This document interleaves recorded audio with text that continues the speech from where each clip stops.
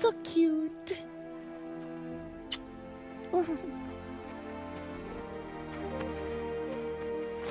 Bye-bye.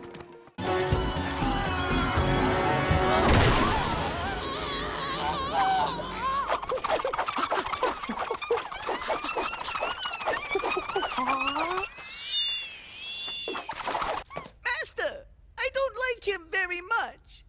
Let's kill him. Sit down.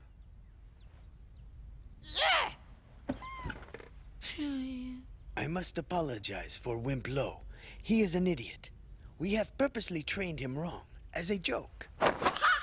and then he killed the dog.